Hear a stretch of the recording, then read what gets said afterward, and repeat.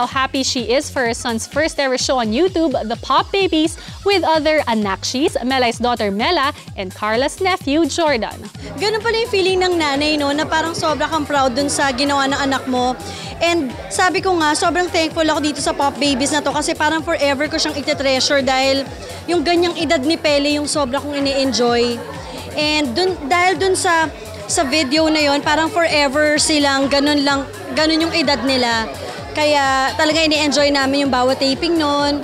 Uh, we make sure na hindi na napapressure yung mga bata dun sa gagawin nila.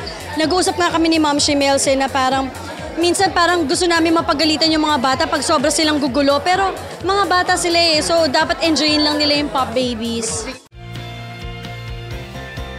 Subscribe to Cineone's YouTube channel for the latest, the hottest, and most controversial showbiz updates on Cinema News.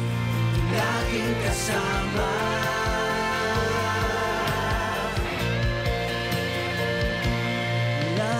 Laging kasama